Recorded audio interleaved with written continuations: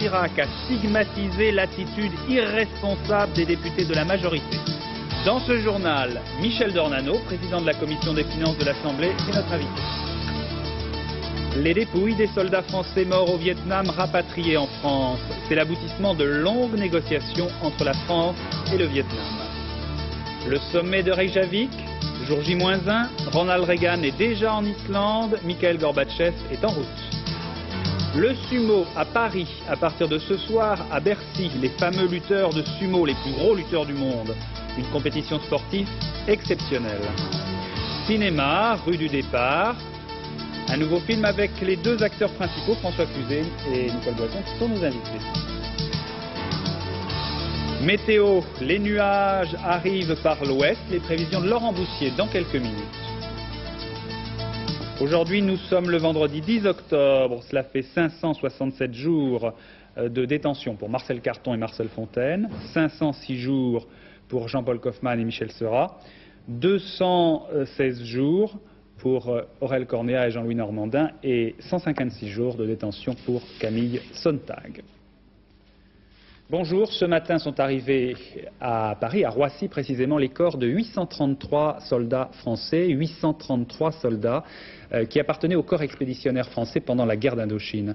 C'est l'aboutissement de longues négociations entre la France et le Vietnam. Les deux pays sont parvenus à un accord qui permettra, dans un proche avenir, de rapatrier les 25 000 dépouilles de tous les soldats français tombés au Vietnam. Ce matin, lors de l'arrivée euh, des premiers corps à Roissy, Jacques Chirac, le Premier ministre s'est incliné devant les dépouilles. François Cornet.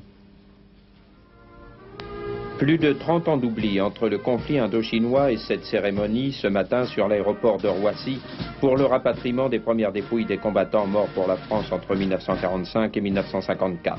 30 ans d'oubli et de longues négociations en effet entre Paris et Hanoï, commencées en 1980, interrompues par la France en 1984 et reprises en avril dernier par le gouvernement de M. Chirac face à la menace de voir un jour le Vietnam procéder à l'exhumation des corps des soldats français.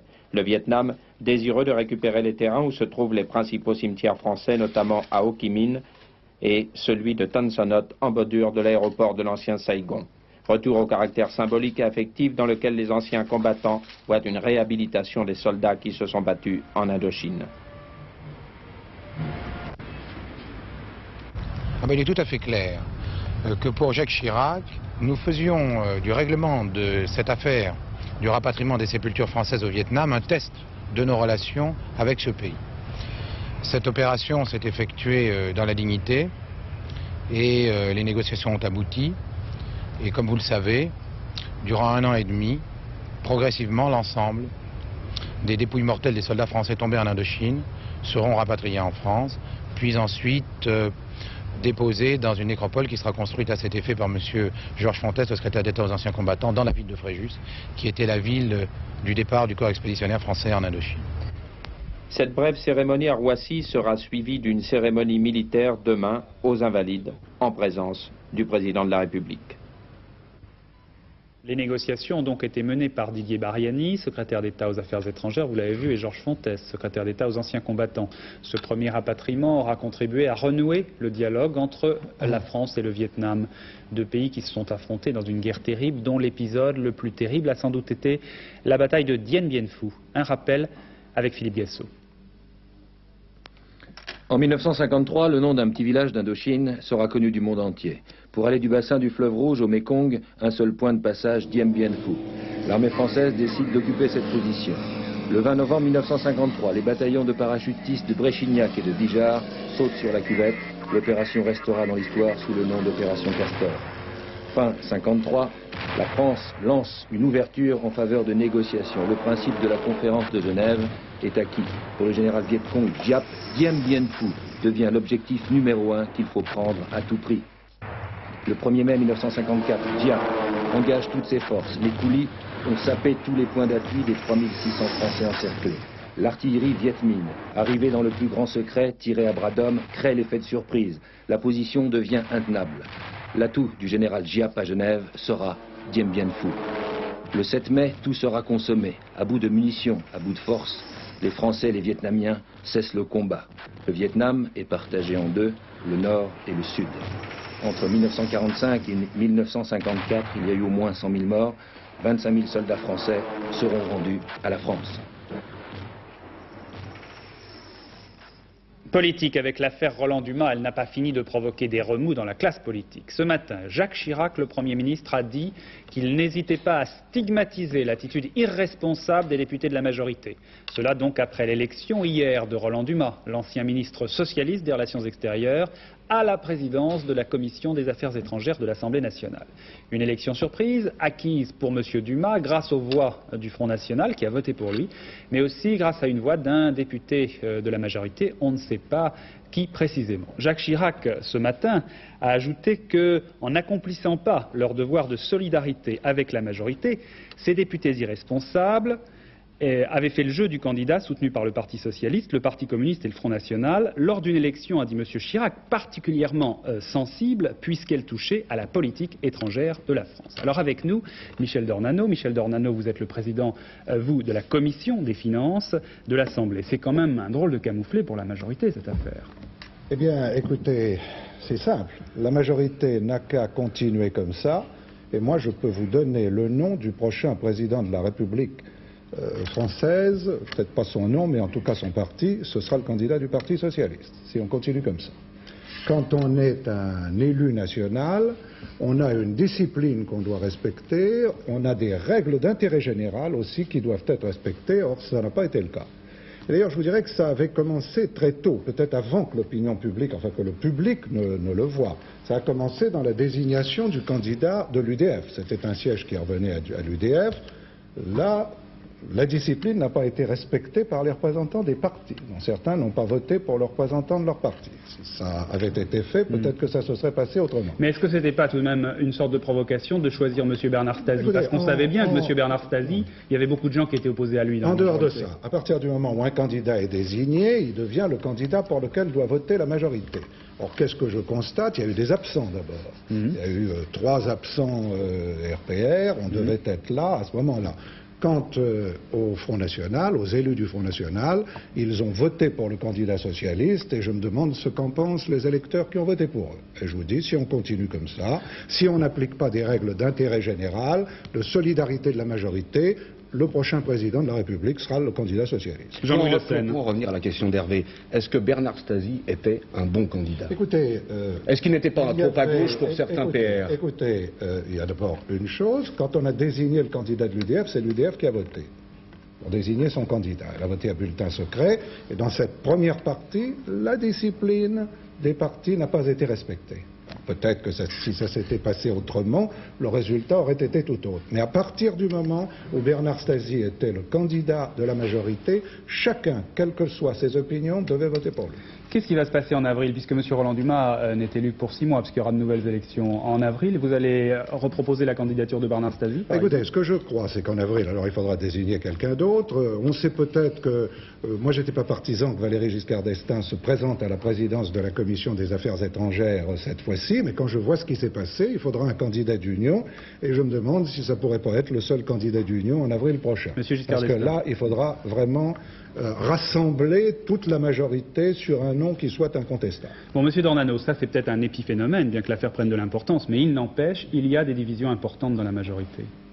Il y a eu des divisions dans ce cas-là. Et il pas seulement dans ce cas-là. Il ne pas, il y en a peut-être d'autres. Il y a d'autres problèmes. Il y a par exemple le problème du 49-3. Oui, on ne comprend pas très bien actuellement la position de Valéry Giscard d'Estaing.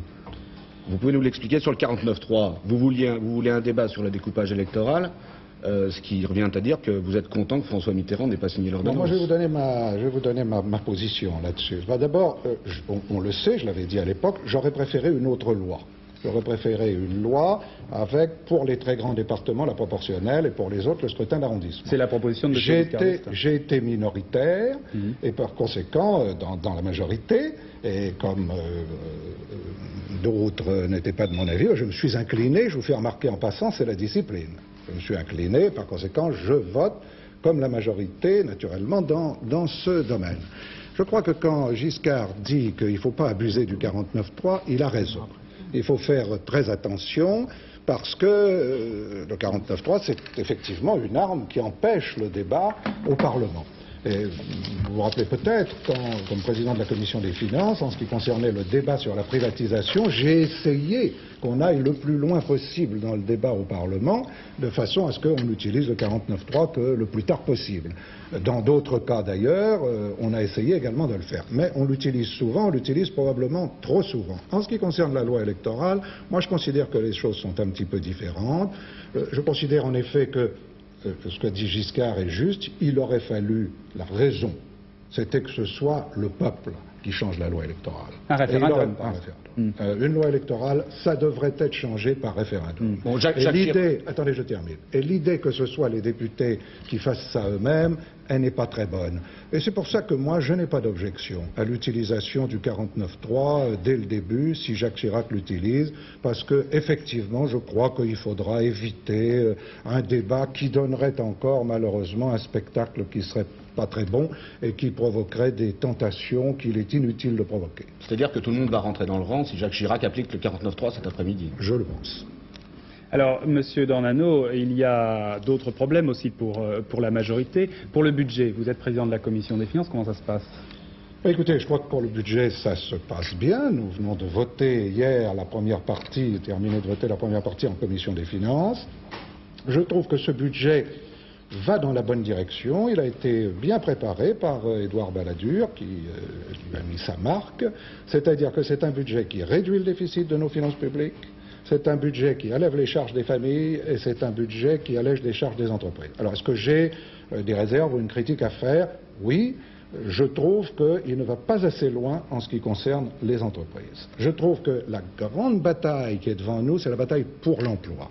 Et l'emploi, ce n'est pas le gouvernement qui crée les emplois, ce sont les entreprises. Par conséquent, il faut supprimer les handicaps des entreprises pour qu'elles soient compétitives et qu'elles puissent créer des emplois. Et hier, je, vous l'annonce, j'ai pu euh, obtenir un vote de la Commission des finances et l'approbation du gouvernement, après de nombreuses discussions, euh, après avoir été aidé par mon ami Robert-André Vivien, euh, sur deux amendements qui représentent déjà un milliard de charges de moins pour les entreprises dès 1987, c'est-à-dire en allant plus loin dans l'élimination du prélèvement de ce euh, du prélèvement stupide sur les frais généraux et en même temps en diminuant les taxes sur euh, le fioul industriel, le gaz industriel, que nos entreprises payent beaucoup plus cher que les entreprises étrangères. Donc un effort supplémentaire pour les entreprises. Jean-Louis, une dernière question. Oui, après ce qui s'est passé hier, vous ne craignez pas que les barils soient plus exigeants pendant la discussion budgétaire? Écoutez, je crois qu'il y aura une chose à laquelle il faut que tout le monde pense, c'est la discipline. Moi, j'essaye d'obtenir davantage pour les entreprises en particulier. J'ai déjà obtenu un certain nombre de choses. À partir du moment où nous nous sommes mis d'accord, c'est du devoir de tout le monde de voter le budget. Merci Michel Dornano, merci. Et je rappelle que cet après-midi à l'Assemblée, bien, il y a justement ce débat sur le redécoupage électoral. Jacques Chirac engagera la responsabilité de son gouvernement. Cela veut dire donc qu'il utilisera l'article 49.3 de la Constitution pour que le projet de loi soit adopté dans les meilleurs délais. Dans l'actualité encore, cette étrange affaire, un bateau panaméen coulé par la marine française. Un chalutier euh, qui battait pavillon panaméen était coulé, en effet, dans les terres australes et antarctiques, près de Saint-Paul, à 1000 km à peu près au nord des îles Kerguelen. Le chalutier aurait été pris en flagrant délit de pêche illégale, mais les 23 hommes d'équipage de ce chalutier ont été récupérés euh, sains et saufs. Alors c'est une affaire un petit peu mystérieuse. Tout de suite, des précisions dans cette communication téléphonique que nous venons d'avoir avec le correspondant de l'AFP à La Réunion. Dans un premier temps, l'Albatros a demandé par contact radio au chalutier panaméen d'arrêter sa fuite. Comme il n'y a pas eu de réponse, le navire national aurait procédé à des tirs de semonce. Ces derniers auraient été suivis de tirs encore plus rapprochés. Le Southern Raider refusant toujours de tempérer, l'affaire serait alors remontée jusqu'au Premier ministre, qui aurait donné l'ordre, toujours selon l'état-major, de couler le bateau de pêche sans attenter à la vie des personnes. En fait, tout l'équipage composé de marins néo-zélandais, australiens et coréens aurait été recueilli par le bateau de la Marine nationale qui fait route en ce moment même vers la Réunion, où le patron du navire va être jugé. D'autant plus qu'il semble que, toujours selon l'état-major, le patron du Southern Raider, suite à l'avarie de son navire, aurait sabordé celui-ci précipitamment, de peur qu'on y découvre des choses beaucoup plus embarrassantes que des langoustes. Donc une affaire qui promet des prolongements juridiques pour le moins détonnants. Dans l'actualité internationale, la démission de Shimon Peres, le Premier ministre israélien, l'a présentée ce matin, une démission qui était attendue puisque au terme des accords de coalition entre les travaillistes et le Likoud, les deux partis opposés en Israël, au terme de cet accord, Shimon Peres et Isaac Shamir gouvernent en alternance. Monsieur Shamir va donc devenir le Premier ministre israélien.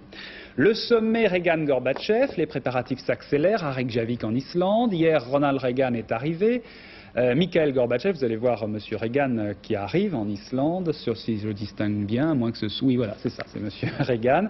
Euh, Mikhail Gorbatchev, lui, est en route. Il doit arriver euh, dans les prochaines heures à Reykjavik. Aucune rencontre entre les deux dirigeants. Voici M. Gorbatchev qui part de Moscou, qui quitte Moscou donc pour Reykjavik.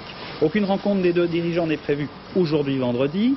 Cette journée sera consacrée à d'ultimes consultations pardon, avec leur délégation et puis des rendez-vous protocolaires, bien sûr, avec les autorités islandaises.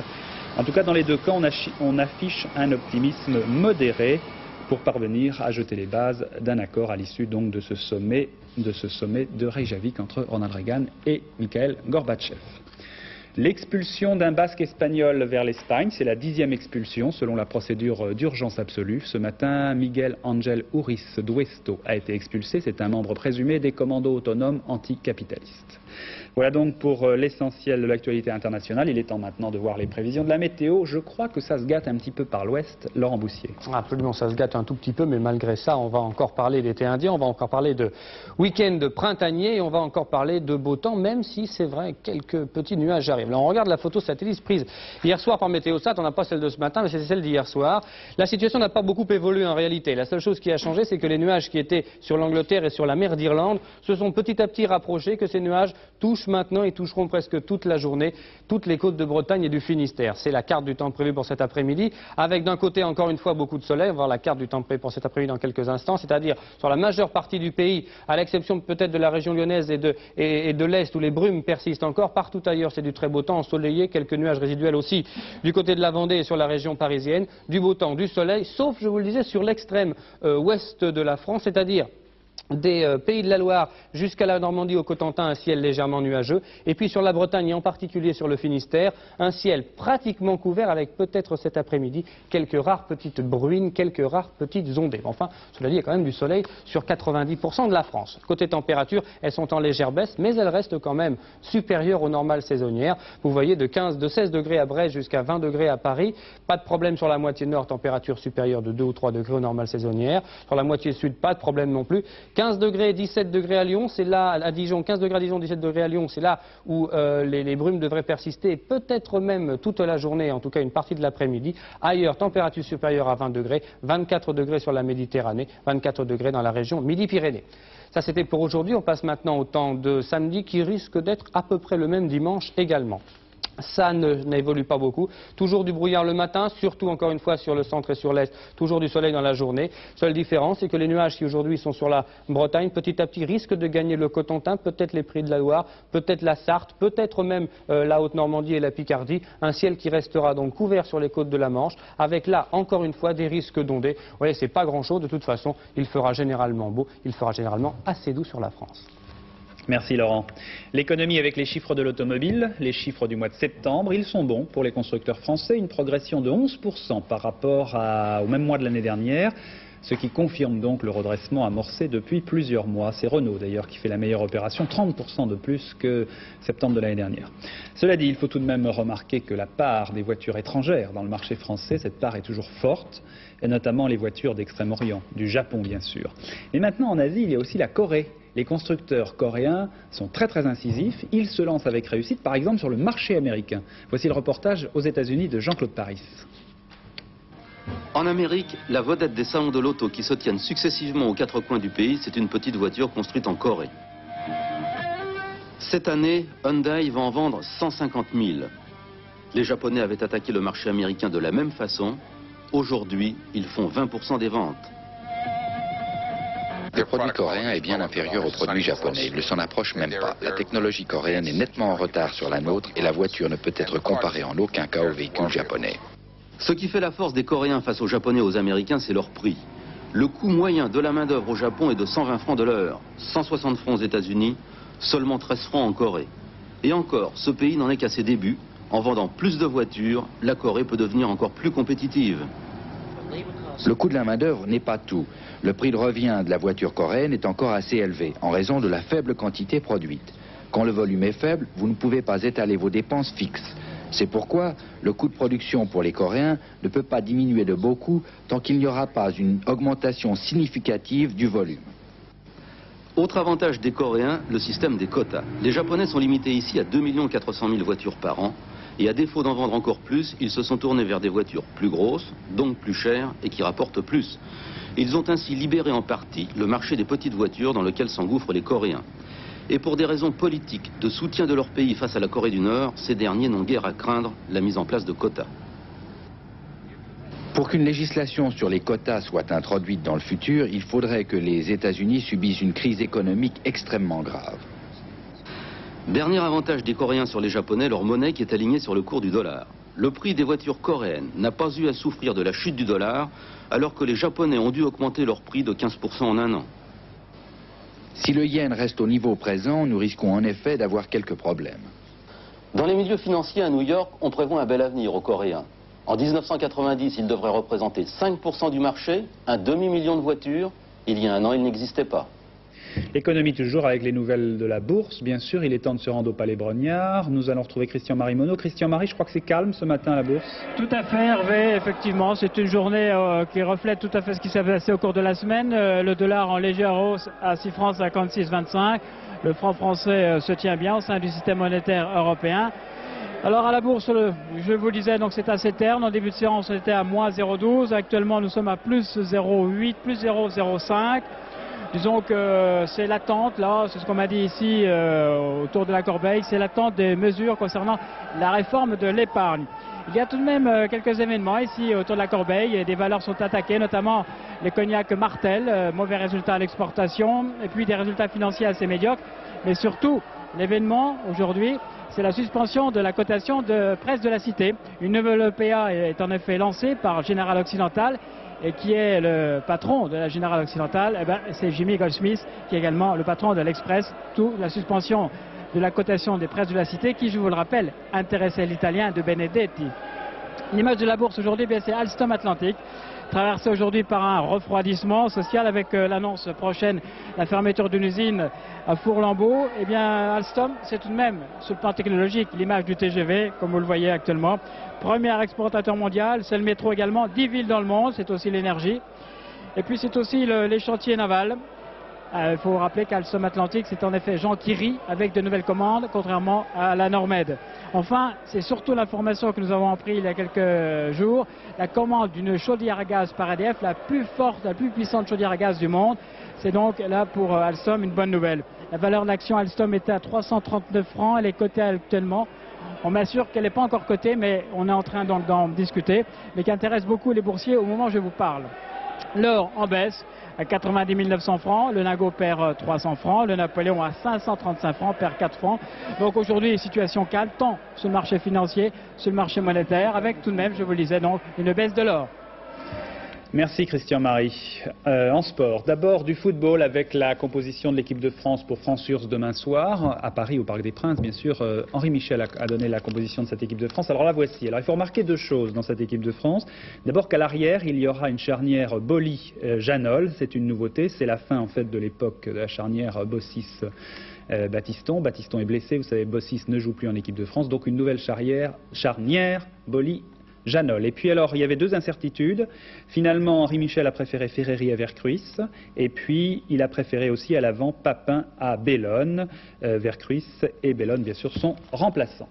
En tennis cet après-midi à Toulouse, affrontement fratricide en quart de finale du tournoi du Grand Prix. On verra Guy Forger contre Thierry Tulane. Tous les deux se sont qualifiés donc assez aisément pour ces quarts de finale du tournoi de Toulouse. En voile, nouvelle défaite pour les deux bateaux français dans les premières éliminatoires de la Coupe América en Australie.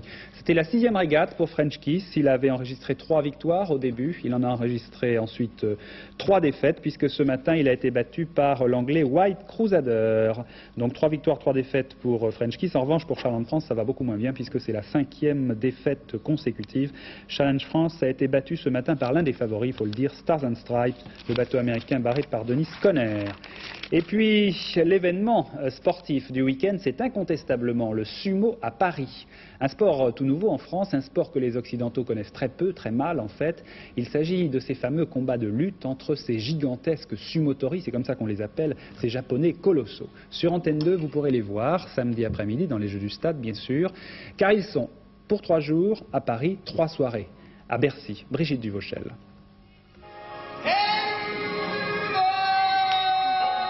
Le sumo n'est pas un sport comme les autres. Originaire du Japon, c'est un art ancestral empreint de religion, pratiqué par des lutteurs de près de 220 kilos. Des combats qui ne durent que quelques secondes. Le vainqueur est celui qui réussit à coucher son adversaire ou à le projeter hors du doyo, le cercle sacré. Des luttes qui s'accompagnent de rites comme le jet purificateur du sel ou la danse sacrée.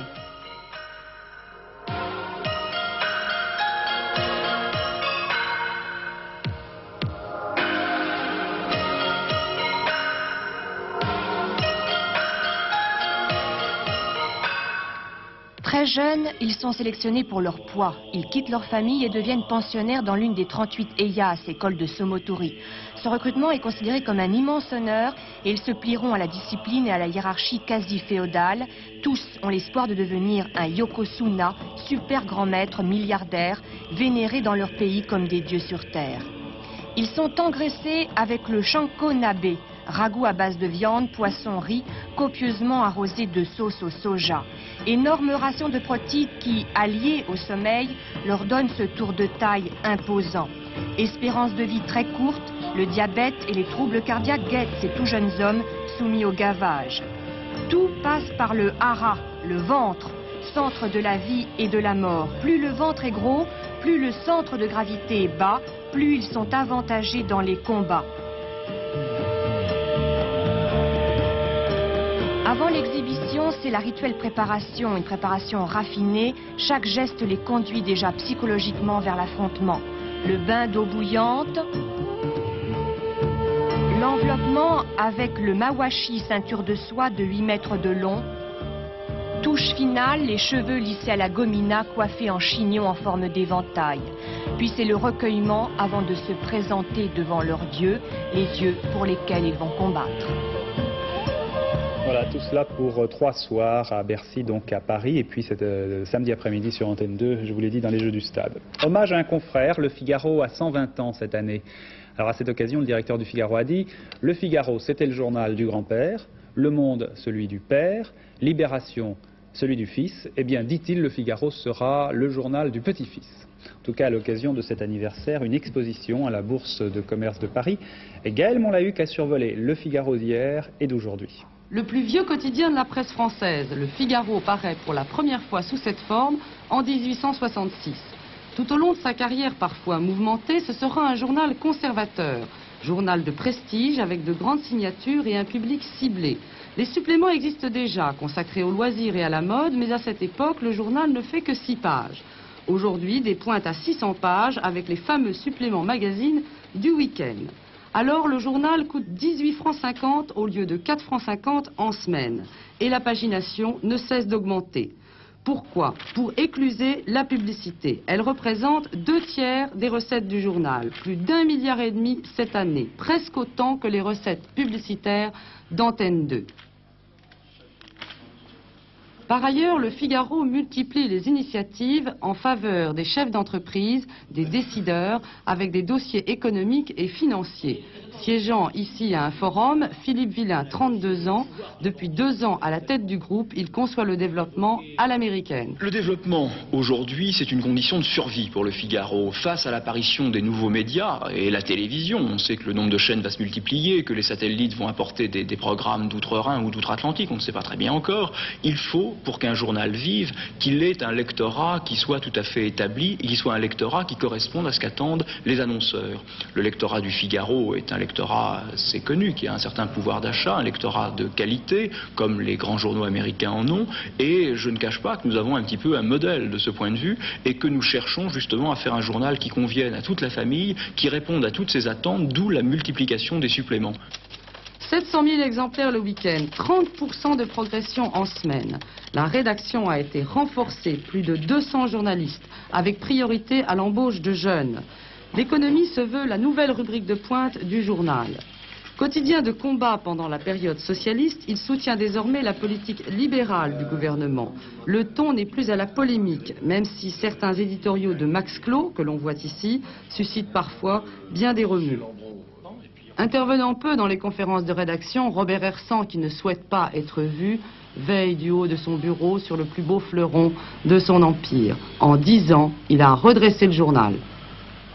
Une grande découverte à Angers, la tapisserie de l'Apocalypse avait un envers. Alors je m'explique mais cette très belle œuvre d'art qui date du XIVe siècle était en restauration. Elle avait une doublure donc, et lorsque les artisans ont enlevé cette doublure, ils se sont aperçus que la fameuse tapisserie était en fait travaillée recto verso et on a découvert des magnifiques fresques donc de l'autre côté. Alors on peut la voir en ce moment au château euh, d'Angers et hier il y avait un concert exceptionnel euh, donné à cette occasion. Alain Cuny euh, disait des textes, Anner Bilsma, vous voyez ici, un prestigieux violoncelliste baroque hollandais, interprétait les suites pour violoncelle violoncelle euh, de Bach.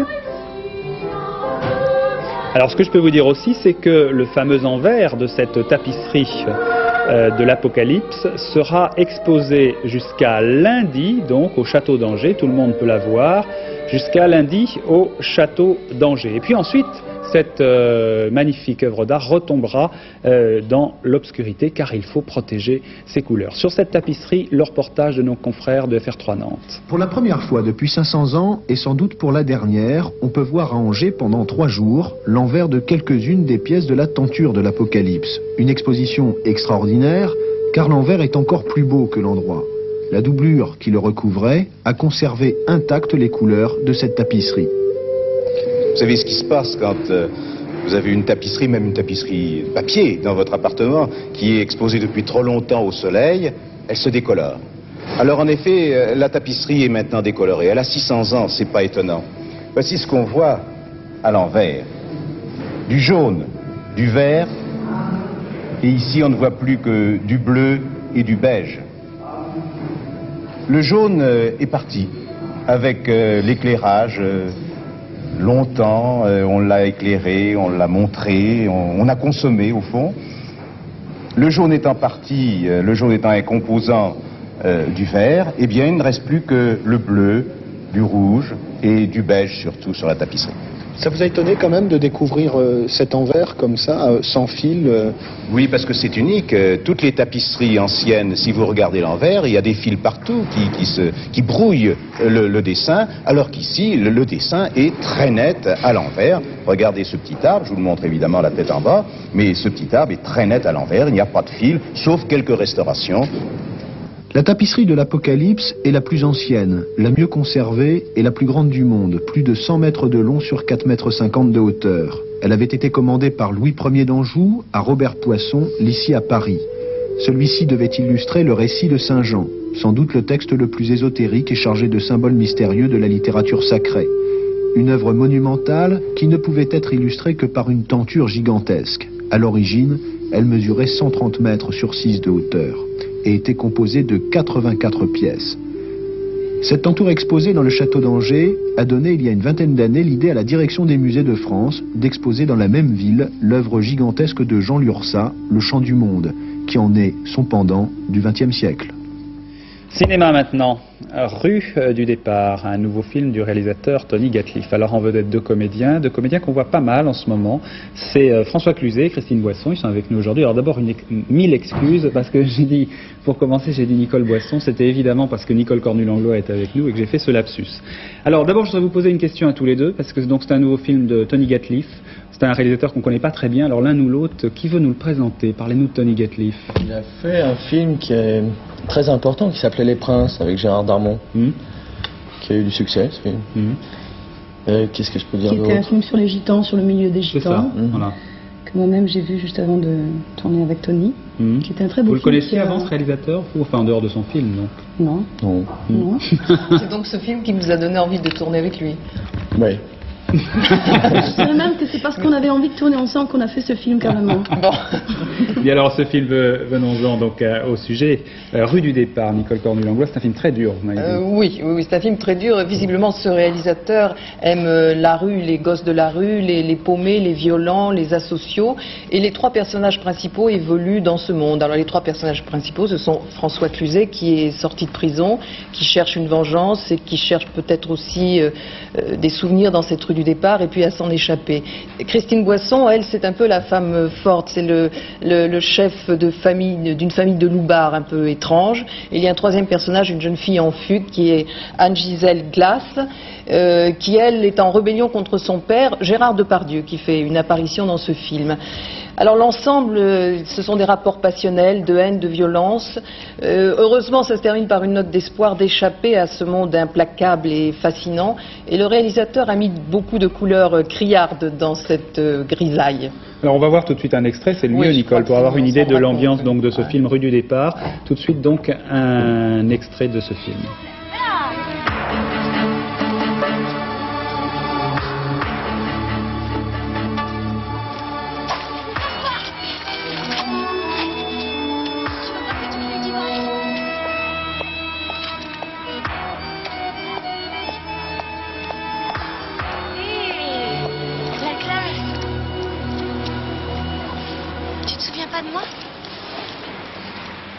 Peut t'oublier, toi Je t'ai cherché partout.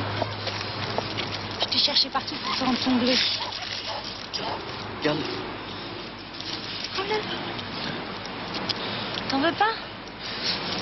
Tiens, c'est de la part du monsieur. Attends. Écoute ça Merde Il est blessé Va chercher Mimi Mimi Cache-moi. Cache-moi. Cache-moi. Cache-moi.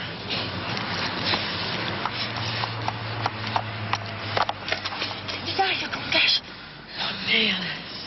C'est Triana. Tu le connais? Oui, c'est évadé de tôle il y a pas longtemps. Les flics nous ont fait chier à cause de lui. Qu'est-ce qu'on va en faire?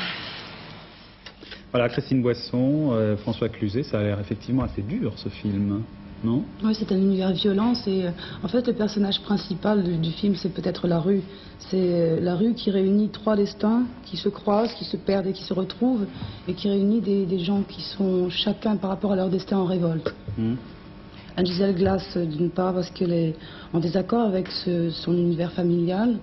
Lui, parce qu'il a un compte à régler. François, parce qu'il a un compte à régler. Et moi, parce que j'essaie, euh, dans mon rôle, enfin, le rôle, c'est c'est quelqu'un qui essaie de, s'en sortir absolument à tout prix. François Cluzet, vous avez l'air d'écouter les explications de Christine. J'en ai besoin. Il faut que j'écoute les explications, Christine. Elles correspondent aux vôtres? Euh, certainement. Certainement. D'abord parce que j'aime beaucoup Christine. et ensuite parce que oui, c'est ça, Tony. C'est l'urgence et la sincérité. Moi, c'est pour ça que je fais ce film. Mhm. Il était sincère et puis c'était plus que vital qui tourne ce film. Voilà.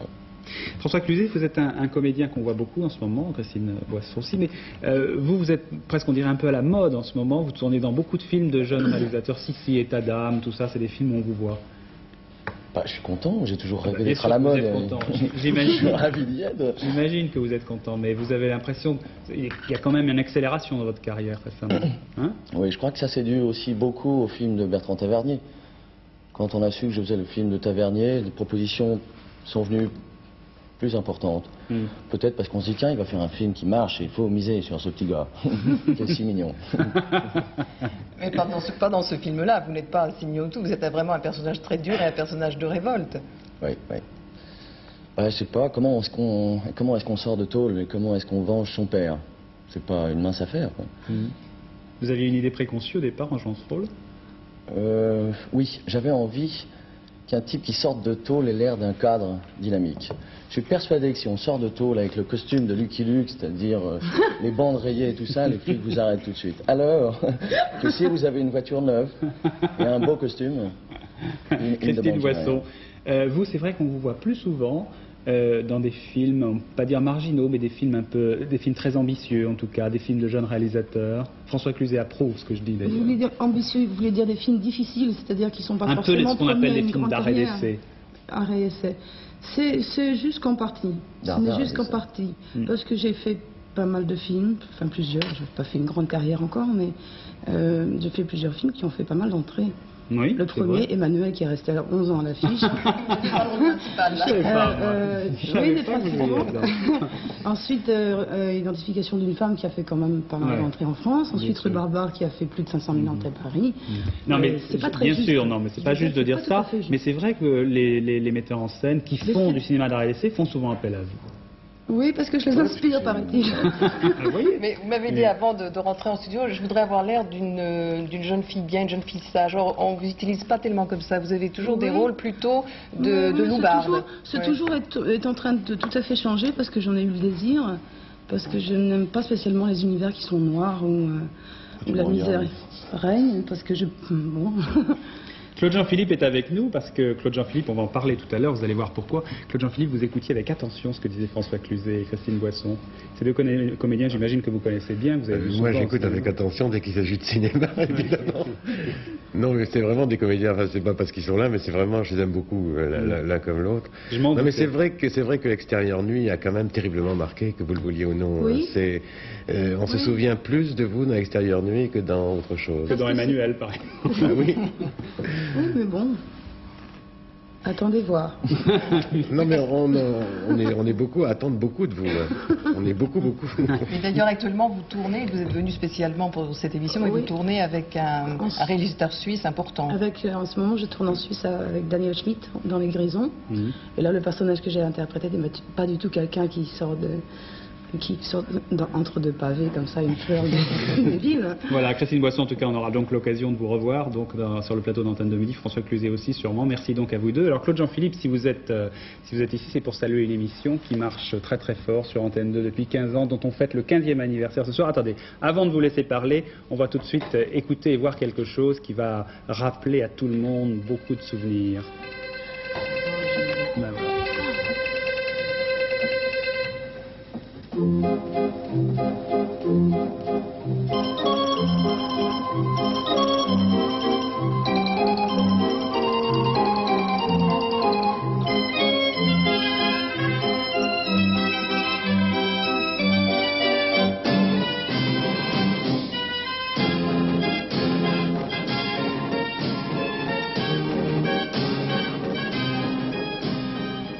un très beau générique. Christine Boisson me disait qu'elle l'adorait. Euh, Claude Jean-Philippe, alors donc ce soir, c'est le 15e anniversaire du Ciné Club. C'est à peu près la seule chose que j'ai faite, c'est le générique. non, parce que euh, c'est drôle quand on parle d'émission, puisqu'il s'agit de films. Mm, c'est vrai. Bon, ça se limite à, à une intervention euh, très rapide euh, de présentation. Mais remarquez, bien sûr. Ah, bon, bon, bon. Enfin, ça fait 15 ans quand même. Et je crois que ça correspond, si vous voulez, aux 15 ans pendant lesquels euh, on a, d'autant plus aimé le cinéma qu'on le sentait en danger. C'est-à-dire que depuis 15 ans, c'est fou le nombre de choses qui se sont développées à l'égard de la culture cinématographique. La, cinémathèque française a explosé en plusieurs salles. On publie de plus en plus des livres, de, livres de cinéma. Il y a de plus en plus de films dans les salles d'arrêt d'essai. Donc, euh, le ciné-club, au fond, euh, sans s'en rendre compte, dès le début, accompagnait un mouvement qui était parallèle à lui. Claude Jean-Philippe, quand on, quand on vous voit tous les vendredis soirs, moi je me pose toujours une question. C'est comment vous vivez? Est-ce que vous voyez parfois le soleil? Parce que vous faites, euh, j'imagine que ça doit être un travail colossal pour voir tous ces films qui sont parfois marginaux, qu'on voit pas beaucoup, pour les retrouver, etc.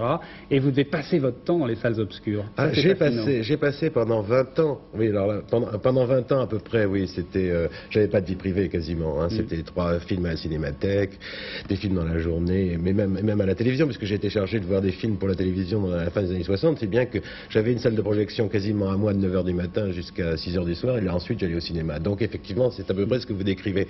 Mais depuis, quand même, non. Depuis, je me suis quand même terriblement euh, détendu. Et, euh, et puis, il y a un moment pour euh, voir des films, il y a un moment pour pour en parler, pour écrire dessus, etc. Donc non, je, je vois beaucoup moins de films aujourd'hui. J'imagine que vous avez beaucoup de bons souvenirs, euh, des meilleurs souvenirs, comme on dit toujours dans cette émission. Eh bien, écoutez, le- le- je, je vais raconter raconter un souvenir qui risque de choquer les téléspectateurs parce que c'est un, un, souvenir de frustration pour eux. C'est-à-dire, c'était tout à fait au début du ciné-club. On passait New York-Miami.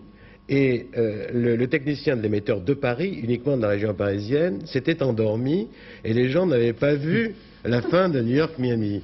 Et alors, euh, c'est Pierre Sabac qui me l'a dit au téléphone en me disant, vous savez, euh, maintenant je suis sûr qu'il y a du monde puisqu'ils ont bloqué le standard de la télévision à minuit et demi. C'était la première fois que ça arrivait à, à, la télévision, donc là on était sûr qu'il y avait des gens pour nous, pour nous regarder. Euh, on avait des sondages qui, qui, le laissaient entendre, mais là c'était la preuve qu'il y avait une attente du ciné-club. Alors enfin, juste... Encore des excuses pour ceux qui n'ont pas vu la fin de New York. Claude Jean-Philippe, ce soir, rapidement, donc pour, pour fêter ça, un grand film bien sûr. Oui, alors Le Carrosse d'Or, mais dans une version qu'on ne connaît pas, puisque c'est la version que Renoir a dirigée, et puisque euh, il ne faut pas oublier qu'en 52, Renoir est quelqu'un qui parle l'anglais depuis 12 ans, et il a dirigé Le Carrosse d'Or en anglais, et la version française qu'on connaît bien, moi que j'ai vu une bonne quinzaine de fois, euh, n'est pas celle que Renoir a dirigée. Donc là, c'est un peu une aventure. Alors là, je voudrais quand même signaler aussi qu'on a un document ensuite, qui est un document signé Éric Romer, qui est un document sur Louis Lumière, et dont les participants sont Henri Langlois et Jean Renoir, ce qui ah, est tout de même fabuleux pour un cinéphile. C'est formidable, effectivement. Donc rendez-vous ce soir à partir un petit peu après 23h, comme chaque vendredi. Merci Claude Jean-Philippe. Je rappelle rapidement les prochains rendez-vous avec l'information. C'est la vie, 18h30, Jean-Claude Alanic, et le journal de 20h présenté par Claude Sérillon. Je vous rappelle aussi les deux principaux titres de cette édition que nous avons développés donc, euh, au cours de cette édition. D'abord l'affaire Roland Dumas. Ce matin, Jacques Chirac, le Premier ministre, a stigmatisé l'attitude irresponsable des députés de la majorité. Et puis une affaire bien étrange, un chalutier panaméen coulé dans l'océan Indien par la marine française. Les 23 marins sont sains et saufs, mais on ne sait pas très bien les circonstances de euh, ce chalutier coulé. Donc, excellent après-midi sur Antenne 2.